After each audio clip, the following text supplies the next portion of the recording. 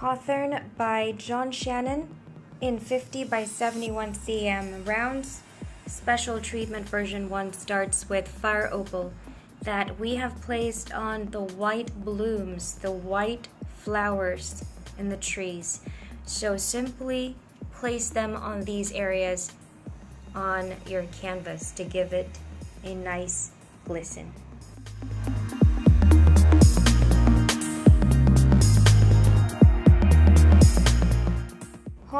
By John Shannon in 50 by 71 cm rounds. Special treatment version 2 now adds tree crystals that we have placed on the corners of this painting. So in this example, I have simply sprinkled them on the corners in the green areas.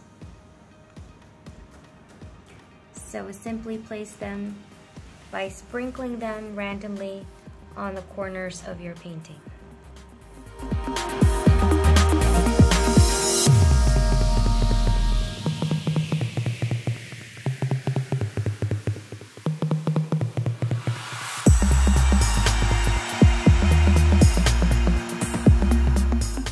Hawthorne in 50 by 71 cm rounds, artwork by John Shannon. Special treatment version 3 now adds desert crystals that we have sprinkled not only on her mask, as we focus on sprinkling it in the middle of her mask with some outlining the horns, but we've also sprinkled some desert crystals onto the trees.